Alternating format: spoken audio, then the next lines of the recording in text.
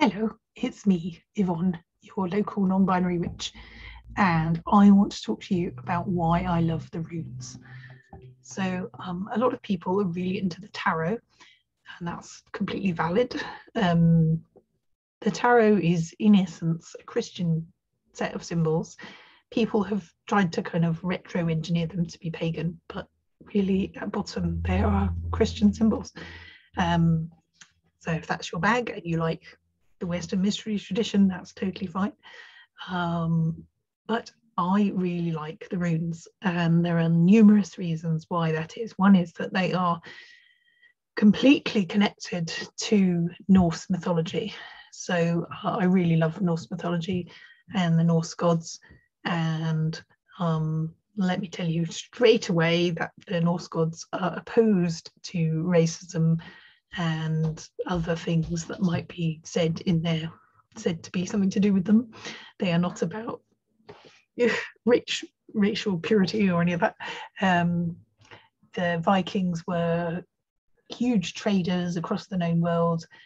Uh, they also raided things, um, but they were also um, explorers and travelers. They sailed down the river Volga they um, they reached the Middle East and um, Byzantium, or Miklagard as they called it. Um, and uh, there was even there's even um, a runic inscription that's been found that is um, dedicated to Allah, the you know the Muslim concept of God. So clearly the Vikings were very very cosmopolitan, right? Um, so they didn't just, you know, hang out in in um, fjords and drink mead and get drunk. Um, they were a very sophisticated culture. And one of the things that they did was um, they had the runes. Now, the runes may be derived from Etruscan writing because they're very, very similar. Um, and there are many different versions of runes from different parts of the Scandinavian world. Um, but uh, the one that I use is the Northumbrian runes, and uh, there was an excellent book on that subject by Nigel Pennick. One of the reasons I love the runes is that they have um, meanings that are to do with nature. Uh, so, for example, we have um, cattle, we have the wild aurochs, we have thorn, the mouth of a river, um, a wheel, a, fiery torch, could also be um, a woman's vagina. Uh, we have the, the exchange of gifts, um, the experience of joy, um, the hail.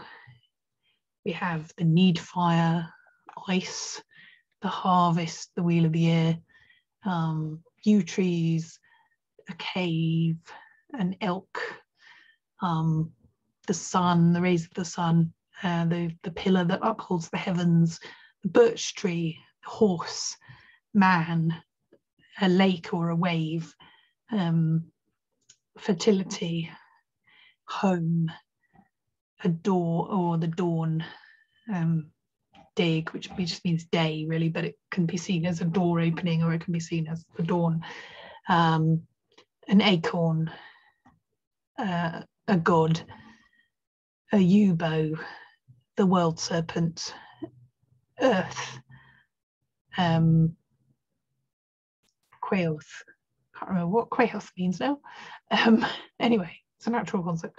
Uh, calc, an upturned chalice, and a stone, and then finally gar, a spear. So they're all really, you know, symbols that represent everyday experience. And they were also a form of writing and they could be used for divination.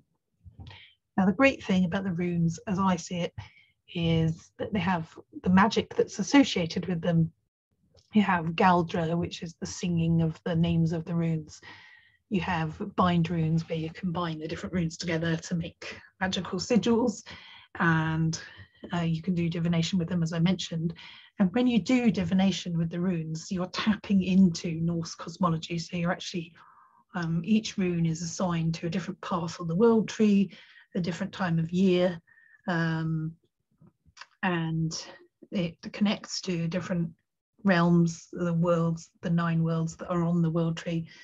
Um, and each rune feels to me like the opening or doorway to a realm of energy to do with that rune.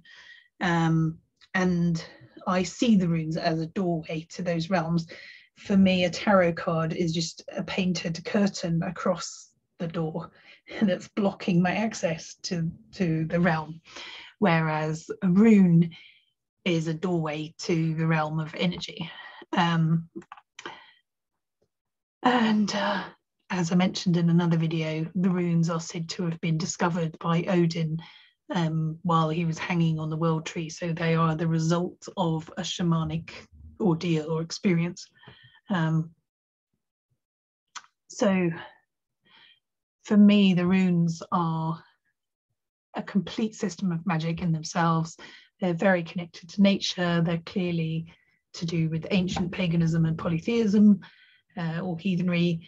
And um, there's a whole set of mythology and cosmology associated with them because you've got Yggdrasil and the nine worlds um, and the gods and the stories that go with them. So, for example, um, one time Thor went fishing and accidentally caught the world serpent. And so there's a rune that's associated with Thor, which is the rune Thorn.